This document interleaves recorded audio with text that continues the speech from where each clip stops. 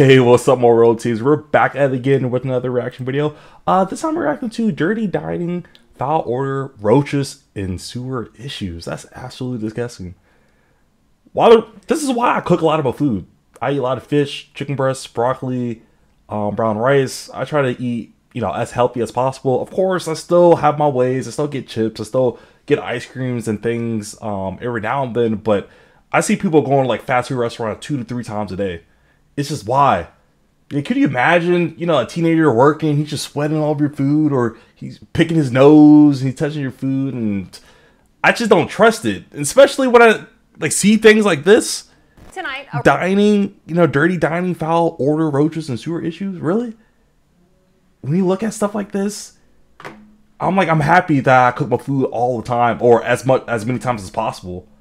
I mean, that's just absolutely disgusting. But let's go ahead and get straight into the video to see what this is all about a restaurant allowed to reopen after apparently cleaning up their act, but did they? When we went to get some answers about all of their recent violations, we found some, well, still existed.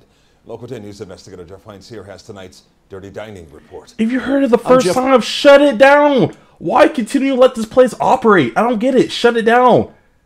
If you knew there's like sewer, like that have feces in my smoothies, what? That's illegal.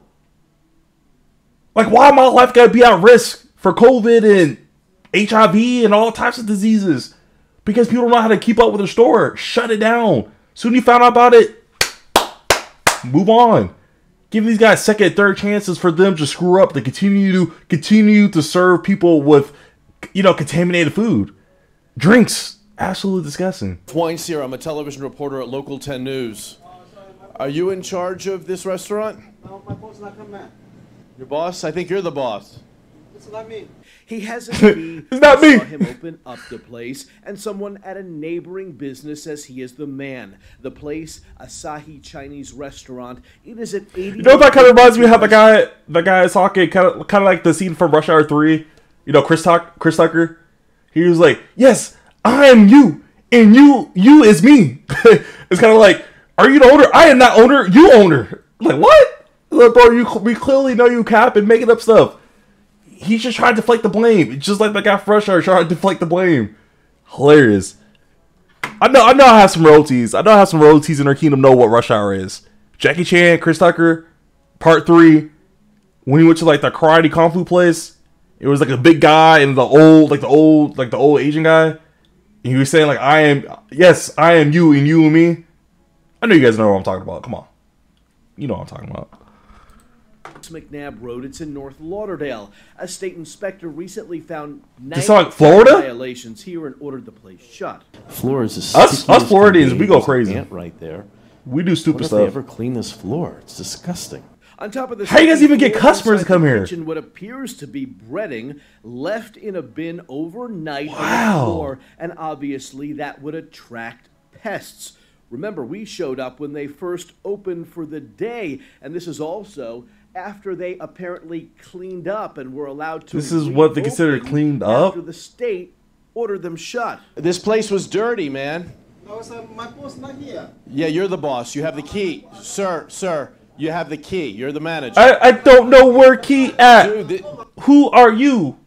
Key, I I don't know. I I owe I owe this store. What? Come on, bro. Who, bro, who you fooling?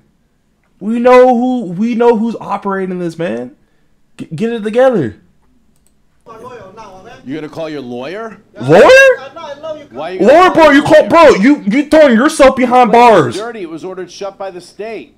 According to the recent inspection, that serving serving doo doo chili, bro. What? The inspector says there was a sink full of yeah, bro. Yeah, you you calling yourself to put yourself behind bars? what? Odor. There was a roach issue, a fly issue. There was a stop sale ordered on raw chicken, ribs, beef, pork tenderloin. All were being stored improperly. They were operating without a license. There was slime on a countertop cutting board, a sewage like smell coming from a sink that is supposed to be used to clean things. Oh. You ever clean the floor? I mean, look at the store. Like, how, how can somebody come in here and think that, yo, floor? this is where I want to eat at? No, I'm starving. This floor, Frank, take a look at this. I asked him if he Like I've this been vomiting all over the Take a look at place, just coming in, smelling the order, looking at it, like what? And take a close look at this spot behind the restaurant where used cooking oil is stored. We certainly hope these discarded buckets aren't taken into the restaurant They are. kitchen. We know it Sake is. was Stop saying to be open hopefully. Following an ordered cleanup and reinspection, and frankly, Open 24/7. Sure how or why, but you now know what's going on inside this restaurant's kitchen. Jeff Weinsier, Local 10 News.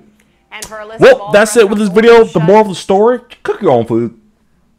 Cook your own food. Why? Why risk it? Why jeopardize your health? Get sick? Do you end up in the hospital? Maybe, perhaps in this case, dead. Don't do it. Just cook your food. It's alright every now and then go out, but for the most part, cook cook healthy food. For OTs, that's it. Uh, make sure you guys leave a like, subscribe, and turn on those notifications. And until next time, catch you guys in the next video. Peace out.